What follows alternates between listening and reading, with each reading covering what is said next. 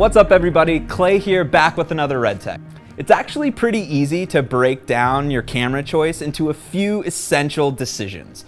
First, you're gonna wanna look at what type of body you want, or your form factor. If you need an incredibly small camera that's perfect for lightweight applications, Komodo's gonna be the camera for you. If you need beefier boards, higher frame rates, and maybe you're an owner operator whose shooting conditions are constantly changing, the modularity of DSMC2 is really gonna get you going.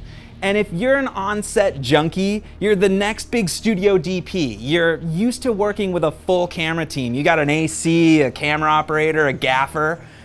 Then the Red Ranger is your on-set juggernaut. This is gonna have all the standard things that you expect to see. Komodo has a sensor that's specific to its body style, but Gemini, Helium, and Monstro are all available in our Red Ranger or DSMC2 bodies. All are positioned to empower you to achieve your vision all offering different features and different characteristics, all together solving for every imaging situation you could find yourself in. Gemini, the 5K S35 low-light high-speed beast. Komodo at 6K S35 offers global shutter perfectly paired with its small footprint.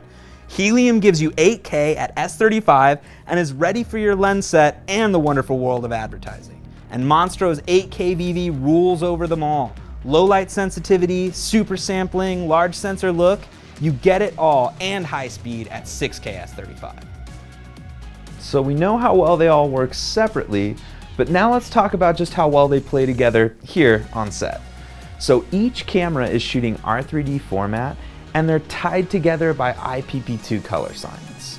And that's great because each sensor and each camera is in a different position and through targeting red wide gamut RGB and log 3G10, we can make intercutting and color matching just a breeze. So here we have our Monstro 8K Ranger body on the slider. It's kitted out the same way you'd see on any Hollywood set, and it's ready to rip.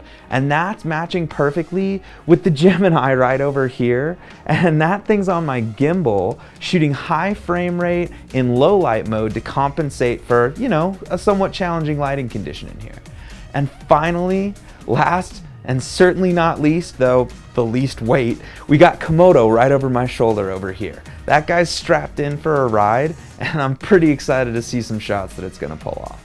So now that you kind of understand how everything plays together, hopefully that eases you along in your comfort of maybe choosing multiple cameras that you want from Red. I hope this made the image nice and clear for you. Don't forget to like, post, and subscribe, and keep creating.